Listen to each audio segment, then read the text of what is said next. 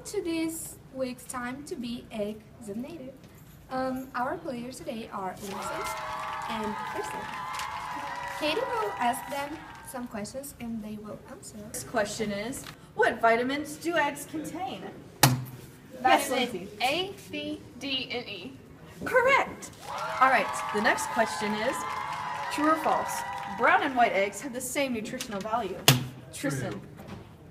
Correct again. Next question. How many calories are in each egg? 30. Sorry, but that's incorrect. 70. Exactly.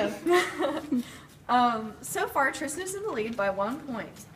And the next question will be true or false. The egg's yolk color depends on the color of the hen. False. Sorry, but oh wait, no. Exactly. the um, the two contestants are now tied, and it's time for the final question, which will determine who wins. The final question is, which country produces the most eggs? China. Congratulations, Tristan! You are the winner!